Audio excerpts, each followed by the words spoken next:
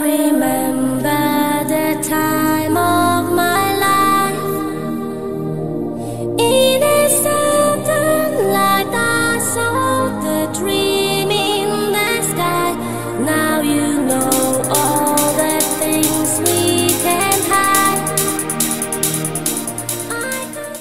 Hey guys, so this is makeup inspired by My Little Pony, and this is for a contest entry. There will be a look for the more wearable look and then the more creative look, but it's for a contest entry. Um, Sunny Shine is having a contest where you choose a look from Kathy, who's the owner of B Slap Cosmetics, which is the B word, but I don't swear. So um, you choose a look that she's done, and you get like inspired by it, and you do something off of it. So um, I chose this one, this hot pink look she did. It's like hot pink and red. The reason why is because there was this pony called um, Tabby, and I had her, and she was those colors. And the moment I saw this, I was like Tabby.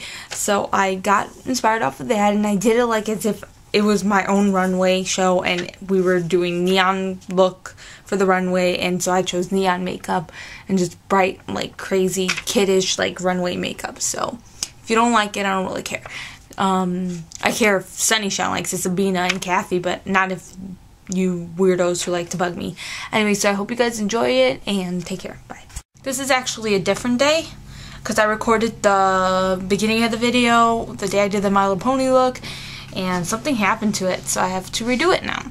So the first thing we're gonna do is take the Coastal Scents palette, and we're gonna take the um, Pink Row, the Foreshadow, and you are gonna put that just all over the lid.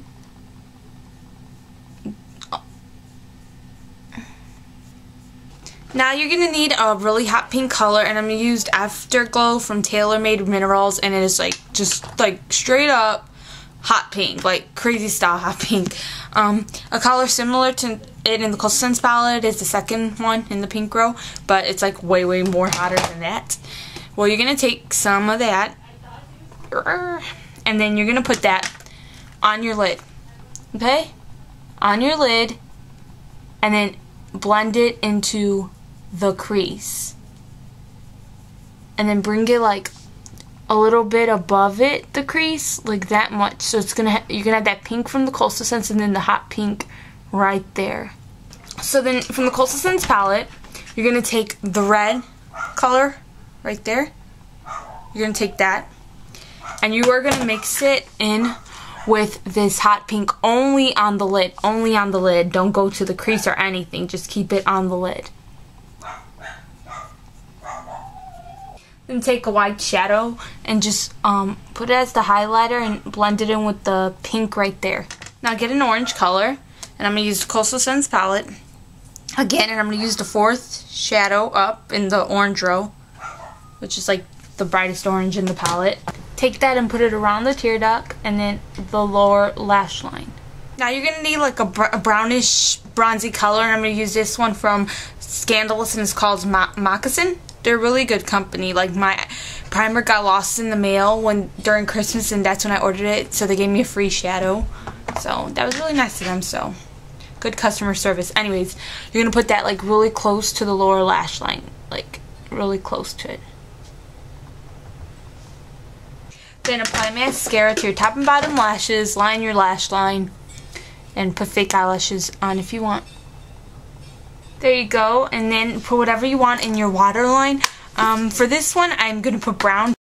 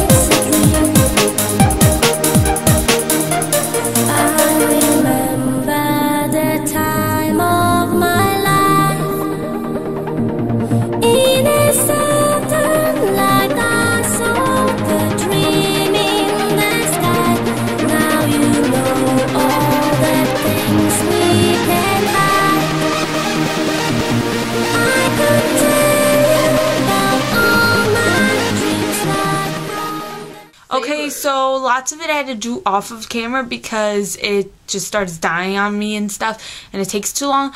But basically just what I used for the shadows was the Coastal Scents palette, the green right here, the blue right here, the orange right there, the yellow right there, and for the pink I used the After Afterglow from Tailor Made Minerals and then um, just use the Mehron palette for all the face painting and to paint my lips white and then just rhinestones for the eyebrow, lips, and then flower rhinestones around the face.